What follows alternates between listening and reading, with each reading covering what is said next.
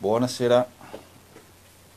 buonasera a tutti, lunedì 13 maggio. È un pochino che non mi faccio sentire perché stiamo facendo, come si dice, molto lavoro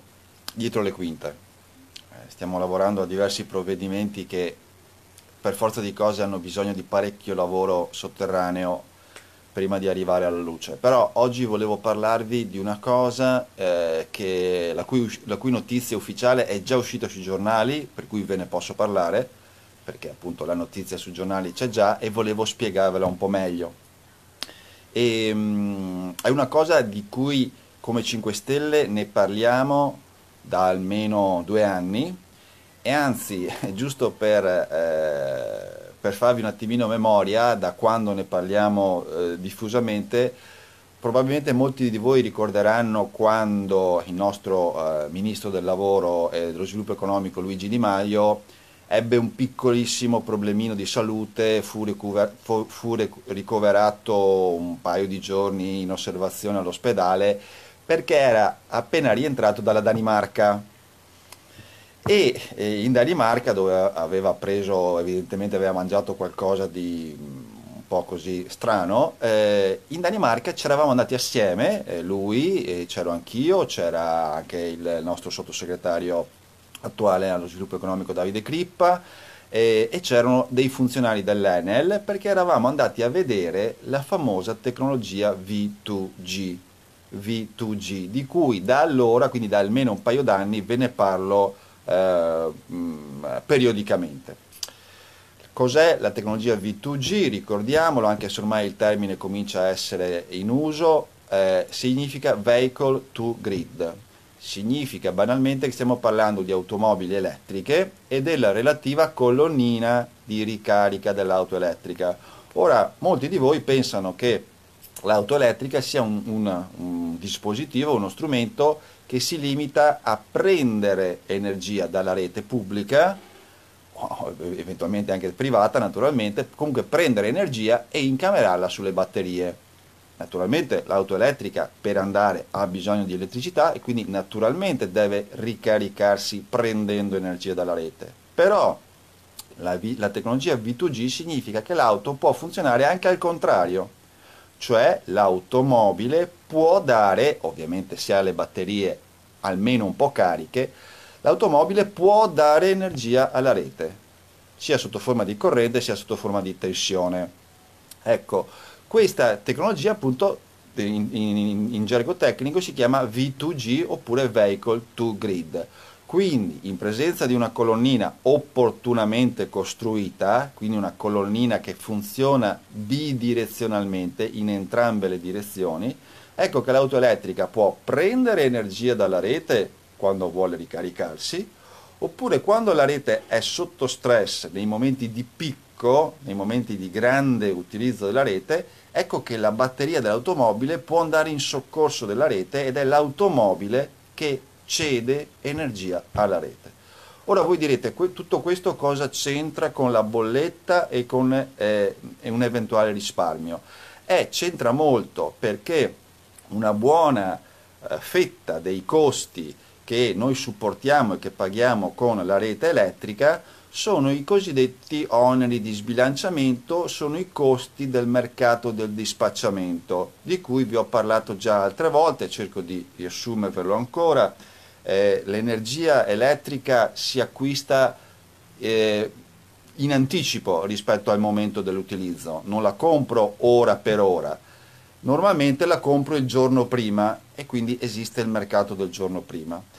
Dopodiché esistono anche dei mercati più vicini alla consegna, quindi i cosiddetti mercati infragiornalieri e anche di questo ve ne ho parlato nelle settimane precedenti. Sono tutti mercati in cui appunto io acquisto l'energia in anticipo a quando realmente mi serve, come si fa normalmente per tanti per tante materie prime, per tanti beni di consumo, faccio un ordine anticipato in maniera da non doverlo fare all'ultimo momento nel quale naturalmente la, la merce mi costerà di più. Ecco, nonostante tutti questi mercati fatti in anticipo, succede costantemente che non c'è mai un, un equilibrio perfetto tra quanto avevo prenotato come corrente elettrica e quanto poi effettivamente in quel momento serve. siccome la rete elettrica è una rete che si caratterizza per il fatto che io la produzione la devo consumare immediatamente, perlomeno finché non faremo moltissimi sistemi di accumulo, batterie, ecco che devo andare all'ultimo momento comunque a eh, operare con degli acquisti o con delle vendite appunto dell'ultimo momento che sono molto costose perché vengono fatte all'ultimo momento e quindi questo maggior costo viene pagato in bolletta. Per cui se io riesco a eh, diminuire la quantità di questi acquisti vendite fatti all'ultimo momento, che ripeto sono molto costosi, ecco che riesco a diminuire la bolletta elettrica. E poiché le batterie delle automobili saranno in grado di farmi questo tipo di operazione andando in soccorso della rete quando la rete ha bisogno di maggiore elettricità e viceversa saranno in, bisogno, saranno in grado di dare in soccorso della rete quando la rete ha troppa elettricità e la deve immagazzinare da qualche parte, ecco che le automobili elettriche faranno proprio questa tipologia di servizi. Altre volte vi ho pure spiegato che proprio perché le auto elettriche faranno questi servizi, questi servizi saranno pure remunerati. Quindi non solo avremo un vantaggio complessivo globale perché diminuiranno le quantità di energie comprate e vendute all'ultimo momento che sono molto costose e il cui prezzo viene spalmato sulla bolletta di tutti e quindi questo prezzo si abbasserà e quindi avremo un beneficio distribuito per tutti. Ma addirittura il proprietario dell'auto elettrica, come avviene già adesso in Danimarca, verrà immediatamente co- eh, pagato, proprio letteralmente pagato per dare questo tipo di servizio. Già adesso in Danimarca chi eh, concede alla propria auto di fare questa tipologia di servizi viene pagato diverse centinaia di euro. Quindi la notizia diciamo puntuale di questi giorni è che il governo sta lavorando a una bozza di decreto che permetta l'effettivo compiersi di questo ulteriore passo. Ve l'avevamo detto a dicembre perché noi avevamo previsto nella stabilità questa norma che aveva bisogno di un decreto attuativo ed ecco che questo decreto si sta per concretizzare e quindi sarà possibile per gli operatori e per le auto elettriche finalmente intervenire in, questo, in, questo, in questa tipologia di mercato. Voglio anche ribadire che eh, spesso vi ho spiegato che uno dei motivi per cui questi mercati del, degli ultimi momenti eh, costano molto è perché in questo momento, stante le regole dei mercati elettrici che abbiamo ereditato naturalmente dalle legislature passate, e questi mercati sono ancora eh, terreno di caccia esclusivo delle fonti fossili, delle fonti fossili. Le rinnovabili ancora non riescono a partecipare perché mancano degli oggetti normativi su cui noi stiamo lavorando da, da, da, da nove mesi, da quando siamo al governo, e che purtroppo hanno bisogno di un po' di tempo per realizzarsi. Sono le cosiddette unità virtuali di aggregazione, che in buona sostanza, come dice il nome, sono degli aggregatori, quindi tantissimi sistemi di produzione eh, da fonti rinnovabili che si aggregano, diventano diciamo così un oggetto unico e quell'oggetto unico riesce ad andare su questa tipologia di mercati cosa che invece il singolo impianto rinnovabile molto molto difficilmente riuscirebbe a fare perché è troppo piccolo. E noi stiamo lavorando su questo, quindi il governo sta aggiungendo alle varie tipologie di, sistemi di, sistemi di accumulo di queste unità virtuali di aggregazione anche l'unità virtuale di ricarica, quindi proprio per le automobili elettriche con questa tecnologia appunto bidirezionale in cui la colonnina può funzionare in un verso, può funzionare nell'altro e naturalmente l'automobile, perché ovviamente la batteria, la batteria può accumulare energia oppure può dare energia una volta che è un attimino una volta che ha una, ha una, certa carica, insomma chiaramente non può farlo se è completamente scarica, ma dal momento in cui ha, comincia ad avere 5, 10, 15, 20% di, di, di carica può dare questa tipologia di servizi. Ecco, questo è uno strumento strutturale ulteriore su cui stiamo lavorando. Noterete che io da diversi anni vi sto parlando di soluzioni strutturali per abbassare il costo dell'energia, perché se andiamo ad agire sulla parte fiscale, eh, accise, IVA, queste non sono soluzioni strutturali, sono soluzioni politiche che diciamo così, possono essere fatte un giorno e disfatte il giorno dopo o magari da un governo di colore diverso. Invece le soluzioni di cui io vi parlo sono soluzioni strutturali, cioè una volta implementate sarà estremamente difficile disfarle, nel senso che sono soluzioni che danno un vantaggio per tutti mercato, sul, sul mercato e quindi sarà molto difficile poi contestarle una volta messe in opera e dimostrato appunto il beneficio che comportano, che comportano a tutti in maniera, ribadisco, strutturale. Per cui in questi ultimi mesi, quando vi ho parlato appunto di questi sistemi di aggregazione, vi ho parlato del mercato infragiornaliero, vi ho parlato del mercato del dispacciamento, tutti, eh, tutte eh, eh norme eh, che servono per strutturare meglio il mercato. E una volta strutturato meglio, ribadisco, sarà estremamente difficile per qualsiasi diciamo così, governo o qualsiasi politico tornare indietro perché i vantaggi saranno talmente evidenti e strutturali che eh, appunto sarà molto difficile tornare indietro. Ecco, questo è un ulteriore passaggio. Eh, lavorando su queste unità virtuali di aggregazione per le colonnine di ricarica avremo un ulteriore beneficio pubblico e poi ribadisco anche privato, perché come spiegai già due anni fa, chi possiederà un'auto elettrica potrà negoziare con il proprio fornitore, sicuramente il proprio fornitore gli darà immediatamente questo tipo di opzione, cioè gli, di, gli dirà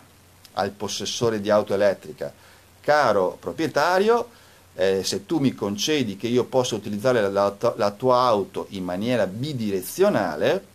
io ti farò per dire uno sconto dell'X% sulla tua bolletta elettrica. Ci potrebbe essere qualcuno che addirittura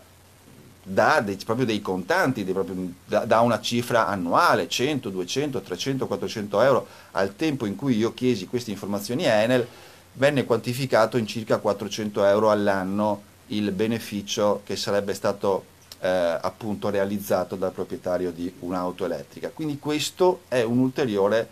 passo su cui stiamo lavorando e che la tecnologia mette a disposizione per migliorare in maniera strutturale. Nelle settimane scorse abbiamo proseguito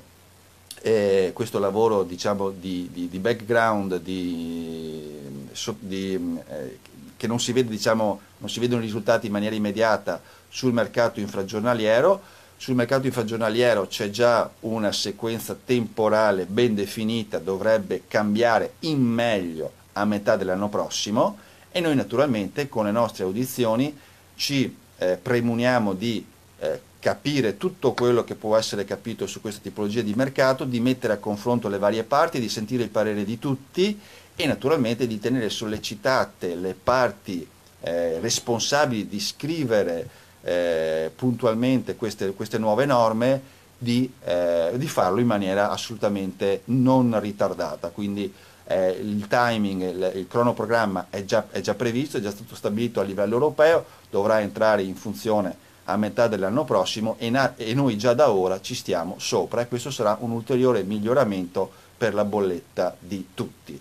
Naturalmente ci sono tantissime altre cose da dire sulla bolletta, ma le, le, mh, chi mi segue sa che le, le, ho spiegate negli anni precedenti. Partiamo sempre dall'involucro, partiamo sempre dal, dall'edificio, dal fatto di migliorare l'edificio perché un colabrodo è sempre un colabrodo per cui io posso pomparci anche tantissima energia, ma se, se è un colabrodo l'energia continuerà fisicamente a uscire sotto forma di calore d'inverno e viceversa eh, di aria fresca d'estate se io non ho un, un edificio ben coinventato. Vi ho ribadito e lo ripeto per l'ennesima volta, eh, eh, valutate bene le detrazioni fiscali del 65% su efficientamento energetico perché vi consentono di, avere, eh, di realizzare un edificio molto più efficiente da un punto di vista energetico e quindi abbassare le vostre bollette. Ma non voglio reiniziare da capo con tutte le cose che ho detto negli anni scorsi, eh, potete andare nel mio, nella mia pagina Facebook, nel mio sito ufficiale portavocegirotto.it e tantissime volte, non solo io, naturalmente tutto il movimento vi ha ricordato l'importanza di queste detrazioni fiscali che adesso con il decreto crescita hanno un ulteriore scatto in avanti, anche questo ve l'ho spiegato pochi giorni fa, sarà possibile chiedere lo sconto immediato. Quindi lo riassumo per l'ennesima volta, ehm, o meglio lo riassumo dopo averlo spiegato la settimana scorsa, se dovete per esempio acquistare una caldaia che costa 1000 euro, potrete optare per lo sconto immediato del 50-65% a seconda della tecnologia della caldaia e quindi pagarla immediatamente con uno sconto del 50-65% e questa detrazione fiscale se la porterà in capo il fornitore, il fornitore che vi, che vi venderà fisicamente questo strumento e questo vale per le caldaie, vale per i serramenti, vale, vale per, le pompe, per, le pompe, di calore, vale, vale per, per, gli isolamenti, quindi i cappotti, i cappotti esterni degli edifici, eccetera, eccetera vi rimando al video che ho fatto la settimana scorsa per non doverlo ripetere eh, continuamente e annoiare chi lo ha già sentito. Chi non l'avesse sentito, ribadisco, basta che vada su Facebook della settimana passata e eh, rispiego questo enorme,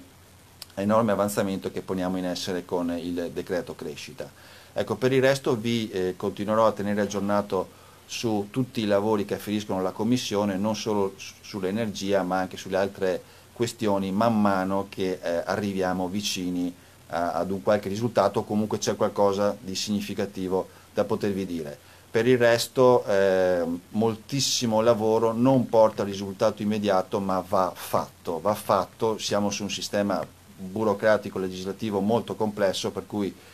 portate pazienza, non, non, non, non, si riesce a ottenere risultati immediati, veloci quanto, quanto, vor, quanto vorremmo però questo è già a buon punto per cui spero a presto, presto di potervi dare notizia sull'uscita di questo decreto e quindi la possibilità per tutti di avere un ulteriore vantaggio in bolletta. Grazie e buona serata a tutti.